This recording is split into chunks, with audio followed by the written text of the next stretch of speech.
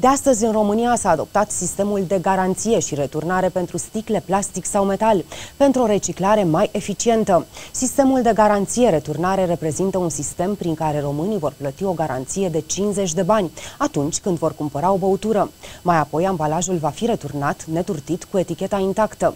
Acest sistem este valabil doar pentru ambalajele care vor conține un logo specific, cele vechi neputând fi returnate.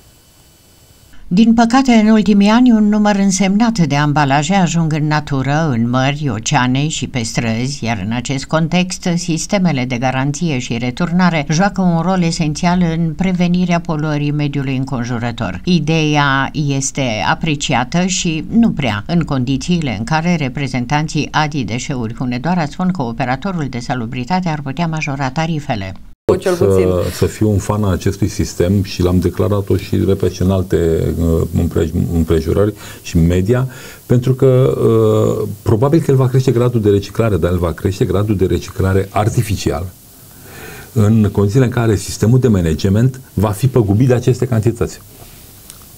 Și vă spun ce, care este efectul imediat. Este creșterea tarifelor la operator. De ce? Operatorul, când a venit în sistemul de management al deșeurilor în relația cu noi, uh, noi i-am spus, tu de pe județul Hunedoara vrei colecta 100.000 de tone, din care 10.000 de tone sunt reciclabile. Da. El a venit atunci și ne-a pus pe masă un uh, tarif, o listă de prețuri, în care a spus, bun, pentru cele 10.000 de tone care sunt reciclabile, eu pot să cer tarif zero, pentru că eu le reciclez și îmi recuperez banii. Va intra CSGR-ul, care sigur că va lua cei mai curat, sticla curată, plasticul curat, dozele, le va valorifica. Cine va valorifica? O să vedeți că plaja de valorificare nu e atât de mare. Toată lumea povestește. Ministrul mediului povestea de 4 miliarde de sticle. De... Mai vorbim peste un an de zile. Dar uh, operatorul va veni și va spune, stai puțin, că eu mi-ai spus 10.000 de tone. Păi uite, 7.000 au plecat în seghere. Deci nu sunt ale mele. Eu n-am pus în pe ele, nu le-am valorificat, n-am primit bani.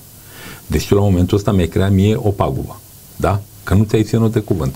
Ce mi-ai zis, ce mi-ai promis. Și atunci vine și îți mărește tarifele. Că Comercianții au obligația de a evidenția la raft cu ajutorul unor etichete valoarea garanției. Sistemul se va aplica pentru toate tipurile de ambalaje nereutilizabile fabricate din sticlă, plastic sau metal care au volume cuprinse între 0,1 și 3 litri inclusiv. Pentru ca acestea să poată fi identificate mai ușor, produsele vor fi marcate cu un logo specific. După golirea ambalajului, consumatorul va trebui să-l aducă într-unul dintre punctele de returnare organizate de comercianți, practic, în orice magazin din România. Ambalajele trebuie să fie intacte, cu etichetă și nu este necesară spălarea. Ministrul Mediului estimează că până în vara viitoare pe rafturile magazinelor vor exista doar ambalaje reciclabile, iar până atunci vor circula în paralel și vechile stocuri.